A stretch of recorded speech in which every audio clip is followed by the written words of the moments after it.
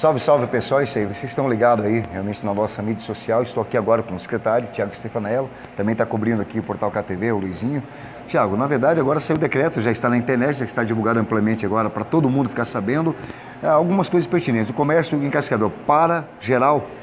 Isso, Serginho. Nós Tivemos há poucos minutos com o prefeito.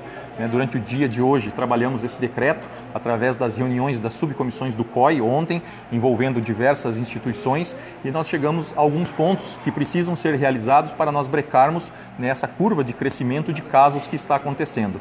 O colapso ele é a nível mundial, já declarado pandemia. No Brasil também a situação está sendo mais agravada. O próprio Ministério da Saúde solicitou ontem ao Congresso o estado de calamidade pública e hoje o governador Ratinho Júnior também fez um decreto de emergência em todo o território nacional. Então, o assunto é muito sério e nós precisamos fortalecer o distanciamento. Para isso, o novo decreto. Nós vamos fechar a rodoviária de Cascavel, não haverá mais transporte de passageiros na rodoviária, desembarque ou embarque do dia 20 de março ao dia 5 de abril, o prazo que esse decreto vigorará nesse momento. No aeroporto, nós vamos abordar todas as pessoas que chegarem, fazendo a verificação da pressão e notificando para que todos permaneçam em isolamento domiciliar, mesmo sem sintomas, durante sete dias. Em relação ao comércio, será permitido o trabalho interno, mas não o atendimento ao público, a não ser para alguns essenciais que estarão descritos no decreto, como as farmácias, os supermercados, que devem fazer alguns ajustes para fazer um contingenciamento de público. E existem estruturas que estão suspensas à atividade, não poderão funcionar de nenhuma forma, como academias, clubes, salão de beleza, salão de cabeleireiro, né, bares, boates, casas noturnas, jogos esportivos. Então, também de forma bastante detalhada no decreto para que a gente possa evitar é, ter os casos, o caso confirmado de coronavírus aqui em Cascavel ou um número de pacientes que venham a precisar de internamento hospitalar que trará um colapso ao nosso sistema cada um tem no decreto especificamente. As academias, os salões de beleza, salões de cabeleireiro, tudo está fechado, eles não podem abrir de nenhuma forma. Escritórios, contabilidade, advocacia podem fazer os seus serviços internos sem receber atendimento ao público. Os restaurantes à noite estão todos fechados, só podem praticar o delivery. Ou os food trucks sem mesa e sem cadeira, também é, o delivery e que a pessoa possa então res, é, retirar no local. Perfeito. É... Hoje, casos em Cascavel, tem uma, um diagnóstico de quantos, digamos assim, não tem um caso Sim. hoje em Cascavel, ainda não há essa não, constatação. Não existe caso confirmado em Cascavel. Todos os casos é, em Cascavel ditos como confirmados são porque as pessoas confundem que um caso foi dito como suspeito. Então, nós temos mais de 60 casos que estão sendo monitorados, são 62 casos. É, desses 62, quatro pacientes já passaram os 14 dias de isolamento, já estão liberados do domicílio e temos 58 que ainda estão em isolamento domiciliar e aguardam os exames. Existe alguma estipulação para os supermercados, por exemplo? supermercados estão tomados aí por aglomeramento, aglomeramento de pessoas.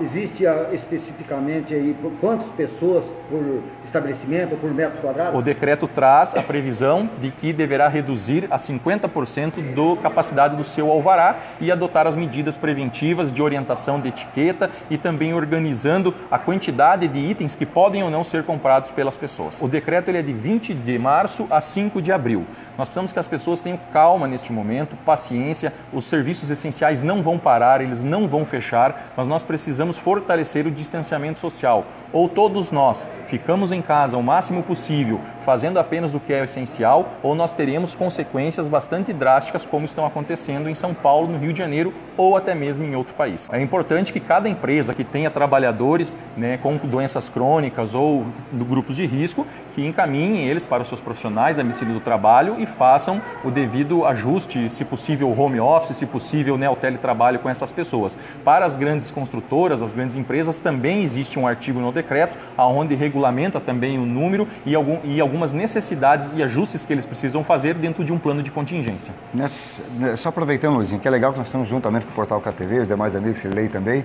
É, veja bem, secretário, outra situação, sobre o diagnóstico uma pessoa que senta, tem os telefones de contato e tudo mais, não é para ir para os postos nem para ir para as UPAs. Exato. Porque como que eles fazem a partir do momento que alguém da família já tem algum sintoma de gripe, alguma dor de cabeça, algumas coisas que possam diagnosticar que seria talvez esse vírus? Qual, qual medida a ser tomada? Sim, é importante que precisa, a pessoa precisa estar relacionada a uma viagem internacional ou algum caso é, confirmado como suspeito confirmado ou até mesmo o caso suspeito. Então a pessoa precisa ter muito cuidado disso e precisa apresentar alguns dos sintomas, febre ou as dificuldades respiratórias. Então é muito importante que se tiver esse histórico da viagem ou do contato com alguém que é suspeito e apresentar os, os sintomas respiratórios, entre em contato com o nosso call center primeiro para receber todas as orientações, permanecer em isolamento domiciliar. E nós vamos até a casa com uma equipe de médicos, fazemos a coleta e também fazemos depois o monitoramento para acompanhar o resultado é do exame. É rápido esse diagnóstico, secretário? Como, de quanto tempo leva?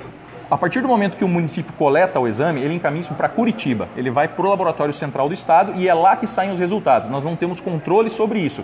Os resultados, eles têm levado uma certa demora, mas são problemas e rotinas que o governo do Estado tem enfrentado com o Laboratório Central. O decreto contempla aquelas medidas que já foram tomadas de não é, poder é, as pessoas de outros estados aqui em Cascavel e vice-versa, daqui viajar para outro estado, está trancado isso tudo? Não, isso, isso não entra no decreto municipal, a gente segue o decreto estadual, essa é uma função né, da, das fronteiras do estado, do governador, e nós respeitamos o que está no decreto do governador. Será cumprido pelo menos isso que foi decretado pelo estado, dessas barreiras aí, divisas estaduais? Entre os estados. Isso depende do governo do estado, como ele efetuará. Nós não temos, nós não temos ação sobre isso, não é o município que regulamentará isso. Ô, As... Secretário, a preocupação maior, Serginho, até é bom a gente falar disso, a preocupação maior é do grupo de risco. Segundo as informações que a gente vem obtendo, o maior grupo de risco tem mais preocupação é com os idosos. Está proibido idosos circulares nas ruas de Cascavel? Isso é mentira, não existe essa proibição. O que nós precisamos é que os idosos se mantenham né, o mais distante possível neste momento, porque são pessoas do grupo de risco.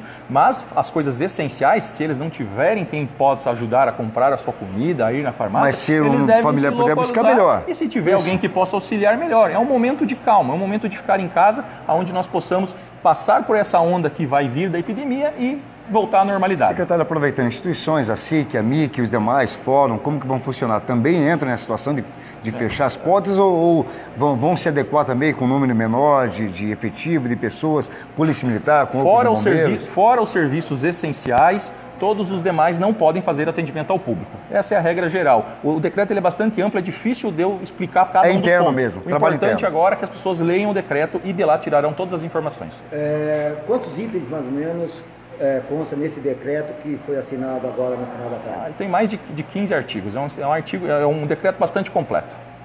Perfeito. Esse decreto já está à disposição de toda, de toda a população, estar, de toda a imprensa? Ele estará. Se não está, já estará no site daqui nos próximos minutos no site, no site fatoofakecascavel.com.br. Perfeito. Tiago, novamente obrigado. É, na verdade, é uma preocupação de todos. Qual que é a medida, além de todas as medidas que você passou, qual que é a tranquilidade que você pode dar hoje dar hoje assim a população de Cascavel, a prefeitura, as medidas estão sendo tomadas tanto no estado como federal e estadual, pessoas para ficar mais tranquilo, porque a população possa entender melhor o que está sendo feito nas medidas de Cascavel. O mais importante é que o município de Cascavel é o município mais preparado do estado do Paraná. Ele iniciou antes de todas as medidas. Ele vem enfrentando isso com muita seriedade desde o início. Nós não temos casos confirmados aqui, as nossas equipes estão preparadas e nós precisamos reconhecer o trabalho e o esforço dos nossos servidores públicos, que enquanto todos estão parando, estão ficando nas suas, nas suas casas, os nossos servidores estão na linha de frente garantindo o trabalho para a população. Essas empresas, uma pergunta aqui da nossa telespectadora, essas empresas que podem fazer o serviço de casa,